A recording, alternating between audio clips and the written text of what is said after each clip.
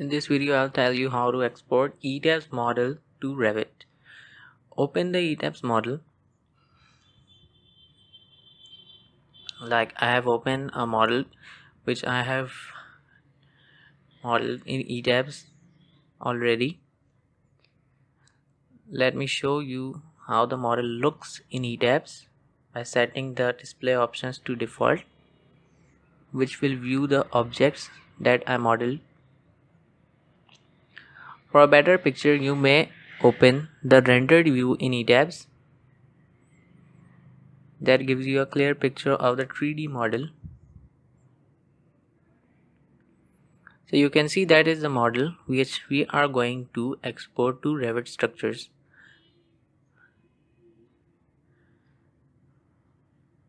Now just rotate it. So you see it's a complete 3D model the options for exporting are given. Note that don't export it as revit structure or file export it as ifc file. Because there are compatibility issues for the versions. While the ifc file does not have any more compatibility issues.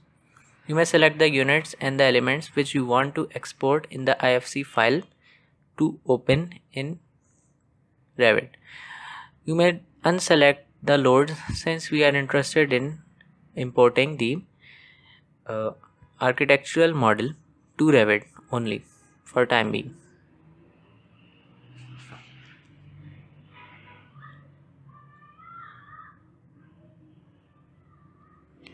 Now open Revit structures or just Autodesk Revit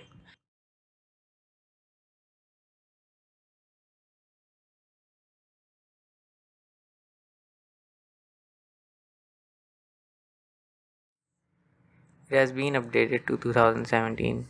It was a previously 2016. Later on I will make tutorials on Revit as well. Subscribe to the channel for that.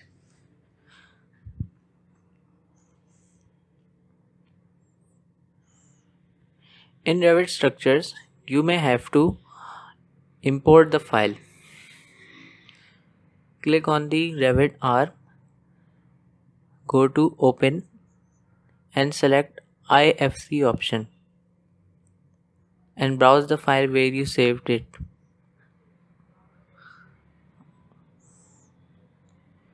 Select the options for auto join and correct lines. Click on open. Revit will take a little bit of time for fine tuning your model since it's an ETABS model.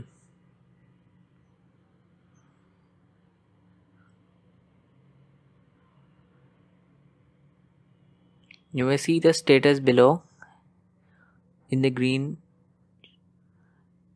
that how long it's gonna take to import. For time being I'm ignoring the errors.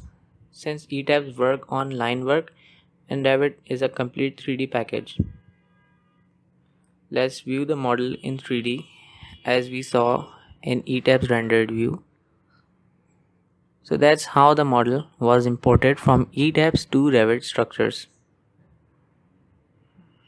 Its front elevation, top and the 3D view. You may see the detailing which we observed in ETABS